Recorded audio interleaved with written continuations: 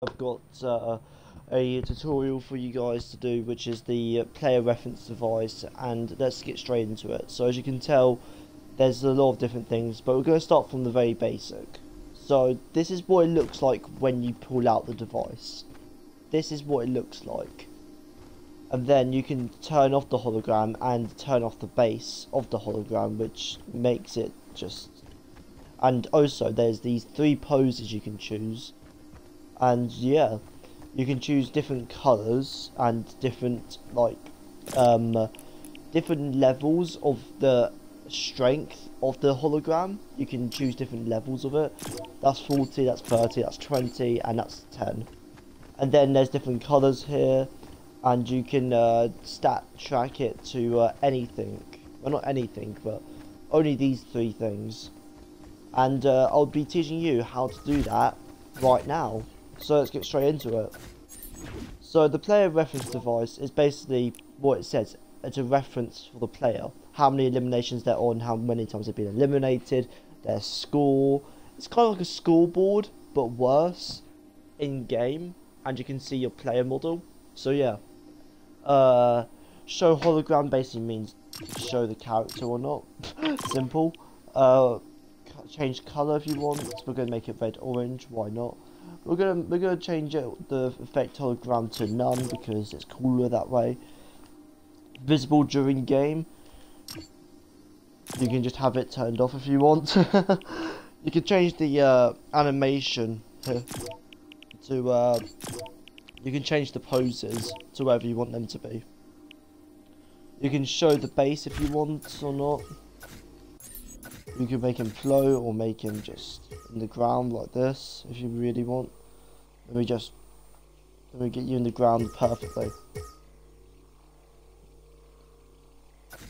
Oh, that's good enough. That's good enough.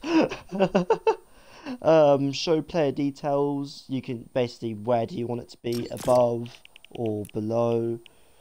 Like where did mid below. We're going to do below because that's normally what you would do. Uh, but yeah, below player, large large curve medium curve or small curve. Uh, this is what small curve looks like, and you can tell the it's the uh, curvature of the uh, sign. You, this is the the stats that you can set to track elimination, score, or eliminated. Uh, you can make it track for every round. I'm pretty sure that's what it means. I'm pretty sure that's what it means. Uh, update registered player just means um is it depends whoever is registered there. Like, is it the highest killed player or the highest eliminated player or what? Vice versa. Do whatever you want. Activated by sequences. Basically, does it trigger from a sequence? The sequencer device, which I might do like an entire like how to play a piano series on. You know, I don't know how it goes. Uh, registered registered by sequences. Same thing, kind of.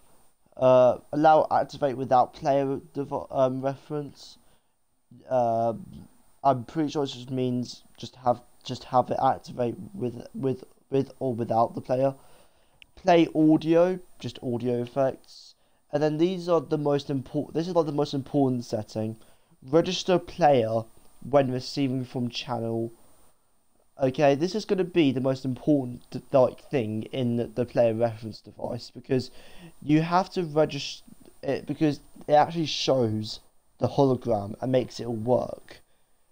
Okay because without like obviously this makes it activate and like the mechanics activate but this actually like makes the thing appear and show up in real in like in game uh, clear player, basically just get rid of their data. Activate, you know. Enable disable, you know. When activated, you know. When tracked stats changed, when the stat the, the, the tracker has been changed, it's quite simple. It's been it's been changed. The, the it gets changed. When player updated, basically means when the player has been uh, updated, like the uh, stats, like uh, like whatever the stats are, you just yeah, it literally says when a new player is registered, it just shows up the new player instead. um, when player update fails, when it fails, basically, um, you just have another channel for that just in case. And when player replace, transmit channel on, and that's basically uh, how this entire device works. And the uh, channel part, I would say, is the most important part, but I'm going to show you a demonstration. These are the settings I put on. Uh, are the important ones, but basically, this is what I believe is important.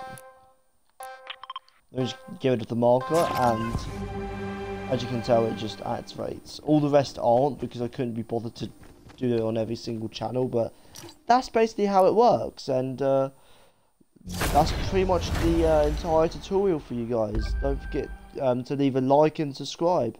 See you in the next video, hopefully. Man, my life is...